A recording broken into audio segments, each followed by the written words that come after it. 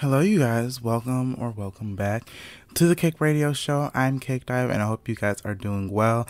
It certainly has been a minute, but you know, life happens. A lot of life things and changes have happened to me lately, and I have had to take a little bit of a step back.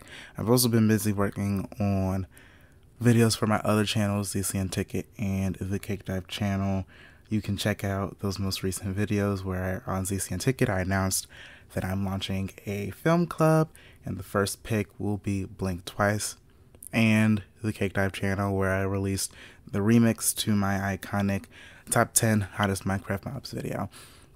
But today, I am not talking about any of that. I'm here to talk about Ice Spice's new album, Y2K.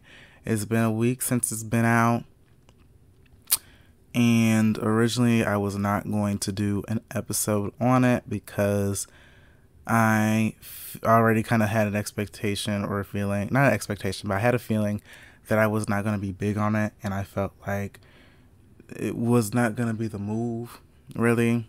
Um, but I've sat down, I've listened to the album multiple times, as you I as I usually do. You know how I do my music reviews if you followed me up to this point. But I have my thoughts, and I feel like I have a lot of things to discuss about the album, the rollout, and just Ice Spice in general, and how people are feeling about her. So let's start with the music, which is the most important thing here. So the music is not great. But what I say it's absolutely horrible for her as an artist, not necessarily. Um, I think that with the album, which first of all, I can give her props because it's a short album. And one of the things that I've complained about with rap albums is I feel like with a lot of the albums have been really rough in terms of rap. They're often too long, and I get that that is from, you know, the era of like mixtapes where people were just throwing like mixtapes and in like older albums where you know artists were just kind of throwing any track on there to like make sure that people had as much access to their discography as possible. So I'm like aware of that. But with this new era of artists and with the streaming era of music and how music quality has definitely kind of gone on decline with a lot of artists over time, I think that we are now at the point where obviously quality is better than quantity so you could have a long album. I mean even outside of rap you could have a long album look at cowboy carter for instance um, where an album is long and, but still very strong. And you can have a fairly short album like hmm let's say dopamine is fairly short you know fairly short fairly sweet album, but fairly consistent and strong overall. And I think that a lot of the newer rap girls have done a good job with not even the newer rap girls, because a lot of these girls have been in the game for a minute, but a lot of the girls who like have been dominating the rap rap this year have done a fairly good job having short or short or shorter albums that are still very high quality. Megan's self-titled album was really strong and that consistently through like from start to finish and the album is just under an hour. Um, I know JT's City Cinderella album, which I personally liked. Um, that's at 40 minutes, so that's fair. That's shorter than Megan's, and still very consistent. Even though I was mixed, certain halves of the album, and I felt like certain parts of the album was stronger than others. I still thought overall was still a good album. Um, however, it kind of stops with Ice Spice Night Y2K. It's the shortest album, like the shortest rap album I've listened to in a minute. Actually, how long was Everything Everything by Glorilla? That I take that. Hmm. Uh. Yeah, it's still the shortest album because Everything Everything was 33 minutes. I, Y2K by Ice Spice is 23 minutes. It's a 10 song album, which is fairly short, but still is an album. And it has the songs Phat Butt, Shh by Ice Spice and Tra- featuring Travis Scott, Popa, Bitch I'm Packing with Gunna, Plenty Sun did it first with Central Cee, BB Belt, Thank You to Shit, Fart, Give Me a Light, and TTYL. I'm going to go track by track and talk about what I liked and what I didn't like, but it's going to be fairly consistent as I guide you through this. Phat Butt, I liked slightly more with listening listening with the whole album, but I still did not like the track. I feel like it is a it's an okay intro for an Ice Spice album, especially since the album bounces between kind of two different visions. Um, but I feel like the flow that she had wasn't I don't know. Like I feel like the flow and just like the verses were not that strong. And obviously that's not surprising with Ice Spice. But like I feel like even for Ice Spice the it just wasn't it wasn't eaten like it usually does. Um the Travis Scott song oh sh- was rough purely because Ice Spice's verse on that was really weak in comparison to Travis Scott's. And even then, I feel like Travis wasn't even trying on the feature, which was very crazy for me. Pulpa, I actually like Pulpa. And like it's a cute, simple, like hard rap verse. Like this was kind of one of the songs in which, like, when she's going for a harder rap sound, I kind of can like rock with it. And it's still very silly for Ice Spice because, like, I love the like Peter, like damn near Lois Griffin type, you know, flow that she has for like the end of the song in which she's just like, eat that cat called a Peter. Like it's just kind of like hilarious to me. And I just like think the song is cute. Um, bitch, I'm packing with Gunna. I actually hate it. Like that is one of my like least favorite tracks off this album and which like really shocked me because like Gunna's feature on this is actually horrible. And I know that like a lot of people nowadays are kind of like mixed on Gunna for a variety of reasons, but for me personally, I don't think that Gunna's bad and I think that Gunna is fairly stable when it comes to features. Like he is fairly consistent when he comes when he does features, especially with like the R&B and rap girlies. And like, cause I remember he did, you know, his collab with his feature with Flo Milli on her recent album, which I really liked. I remember she did. I remember he did a feature for Normani's Dopamine album 159. And as y'all know, if y'all listened to my Normani episodes, I'm a 159 truther. Like y'all don't ta- y'all don't get this song like I do. But this verse from him is probably one of the worst I've heard like from a feature of his like ever, really and it really shocked me. But like, and even then, like Ice Spice's verse was okay, but it like did not like it didn't pick up the slack from what Gunna like faltered with here, and I think that that was a problem with like features. Either y'all both gotta be strong, y'all both gotta go strong, or someone has to like. I feel like the lead, whoever is like the main person on the song, for whatever album or project this is, should be the one eating up the feature personally.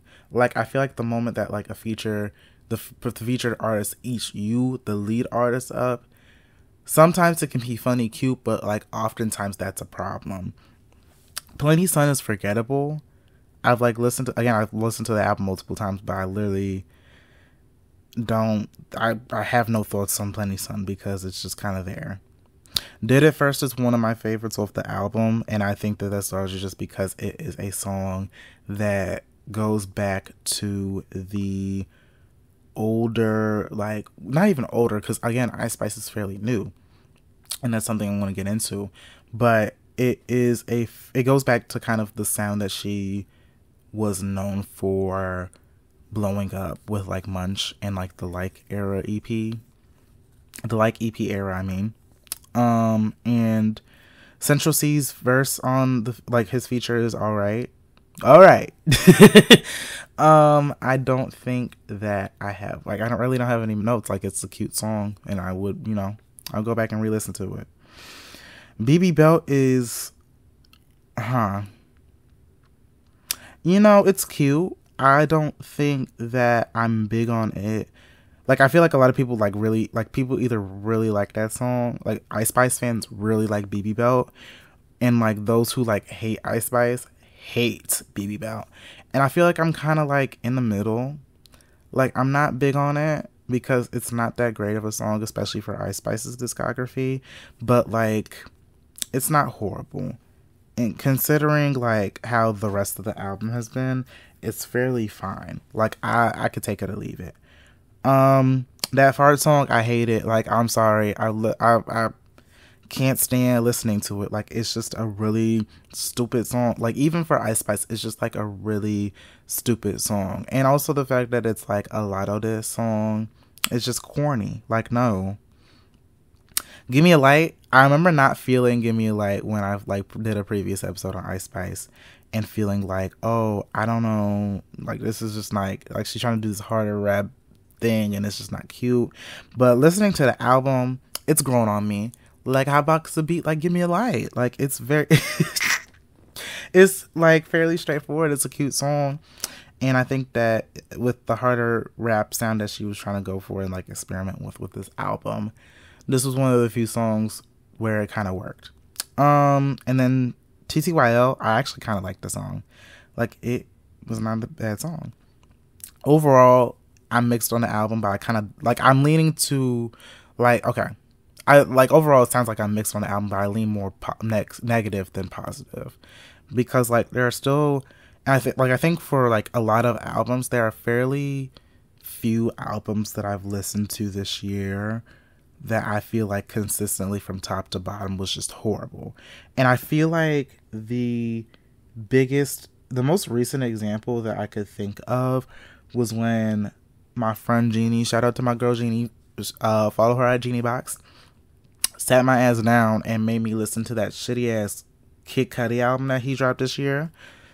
And like literally from start to bottom, it was awful. And I was shocked at how awful it was. Like I know Kid Cudi is not not that great of an artist, but I was shocked at how awful it was because he had a Pharrell Williams feature on the album, and usually Pharrell Williams as a featured artist and as lead artist is fairly consistent and stable, and it just felt like he didn't even try.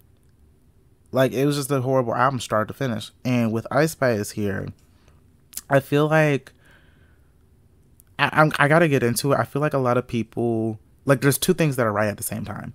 There are a lot of people who are going really hard at Ice Spice and are really trying to drag her for a mirage of reasons. One, she's benefited from colorism, and there are a lot of like people, especially like black men and women, who are really like on the hunt for her to I get like for some reason I get like they really want her to acknowledge that she's like benefiting from colorism, and she has made it clear in several occasions that she does not understand colorism and how it benefits her, and even leads to like colorist talking points at times. Um, so pe- like there, people are feel away about her because of that, and because he's she's made it so far with such a little time. Um, and there's also the angry barbs who are mad at her now because of them text messages that got leaked by that like storm girl who I really don't want to talk about much, but like at the end of the day, I don't think that that situation was that serious. Um, I feel like it was like literally like I feel like Barb's are trying to go at her because they're like, oh, like she was talking bad about Nicki, and if you talk bad about Nicki and you just some other girl, like you just trying to turn on her. Like I feel like it really wasn't even that bad. Like I feel like people like barbs are cutting up like they don't be shading people privately in their friend groups and stuff on a regular basis. Like it literally it wasn't even that shade or anything. Like she was just like upset with the situation and was like venting to someone who she thought was her friend at the time.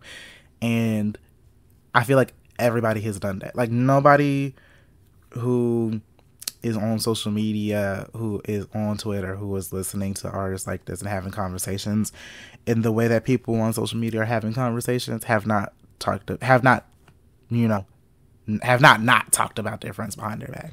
Like they've done it. They've done that shit.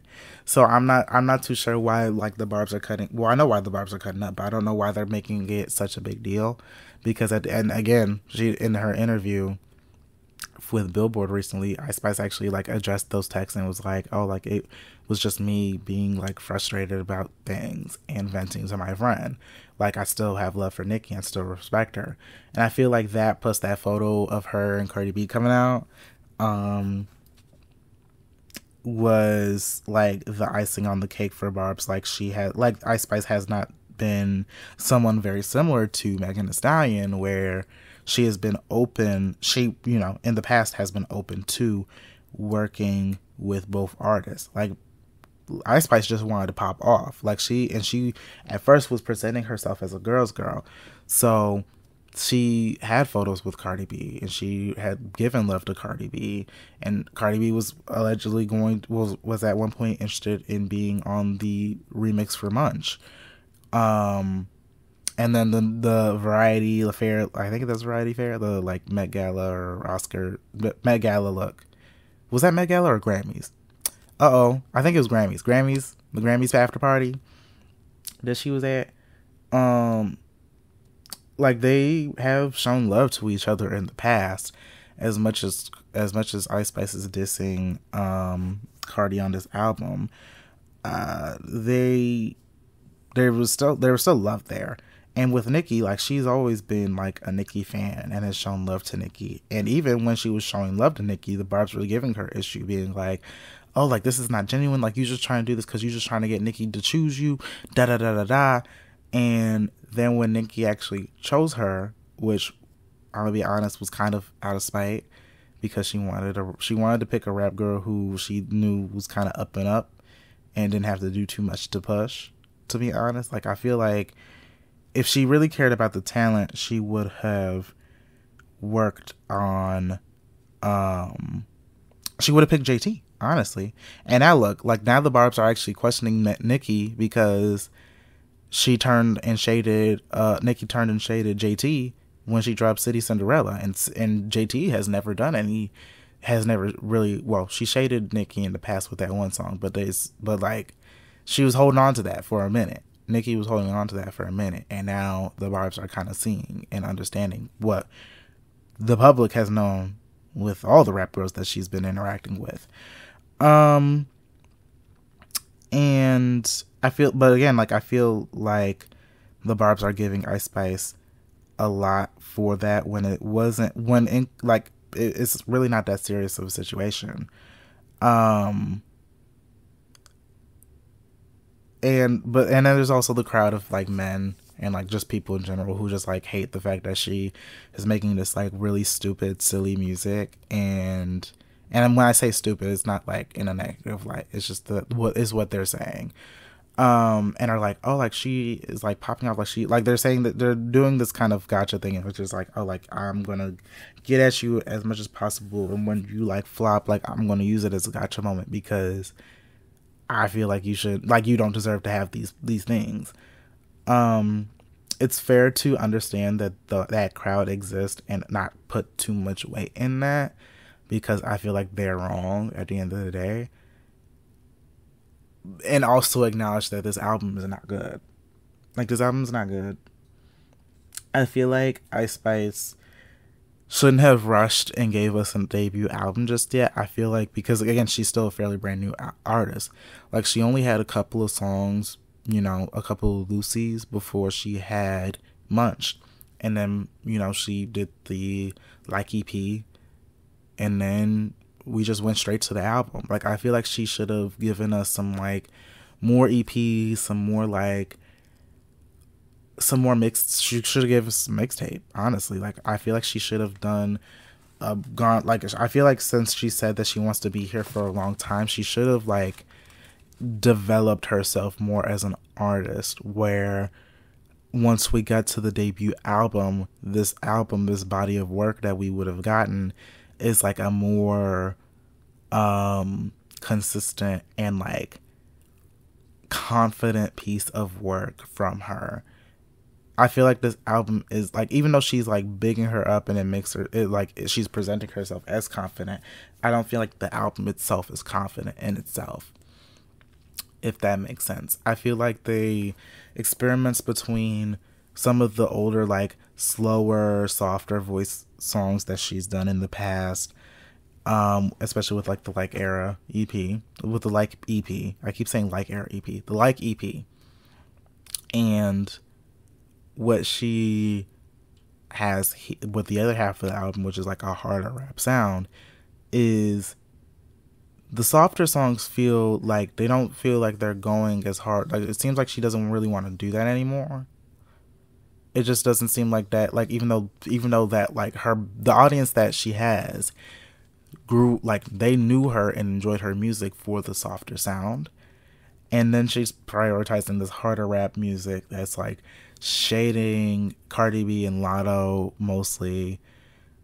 It's not really working and it's like I feel like she also just doesn't have this room to be shading these girls because again one that I feel like that wasn't her brand as much as she seems to has revealed as much as she se- has seemed to reveal herself as more of a mean girl than like a girl's girl I feel like her brand and what really worked for her during the like era up until like the transitional period with like deluxe was that people saw her as a girl's girl. People saw her as someone who liked everybody, was room for everybody, and was making cute, fun music to play, you know, like cute summer jams and stuff like that. And the harder rap stuff, with the exception of certain songs, again, like Give Me a Light, the and like maybe BB Belt, those are like beyond that, the other songs just don't really fit what people knew Ice Spice for and liked Ice Spice for when she first started popping off and when she first started dominating like the last year or so.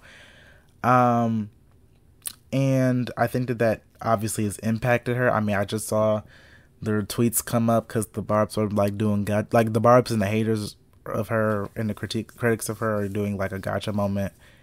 Um, and like the stands are feeling the Ice Spice fans, the Munchkins are feeling some type of way that like the album is targeting a top 40 debut and Megan did higher and the girls were trying to drag Megan uh I think did City Cinderella do higher? I think City Cinderella might have done lower actually. Let me pull. I again I don't follow the charts, but I was I, I only pay attention to the charts when the girls bring up the charts like that. Um, City Cinderella did tw- was at debuted at 27th, so it was it still was in the 20s.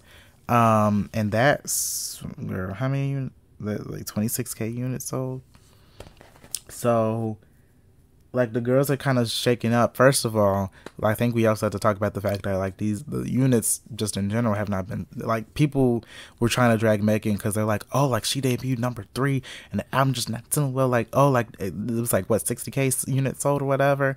I think people, the stands are forgetting the fact that just like people aren't really buying or like buying this music. Like you like the units aren't selling just in general it seems for these artists. Like not even just the newer artists but just artists in general. Like people just aren't buying music like that. The streams are just the thing now unfortunately.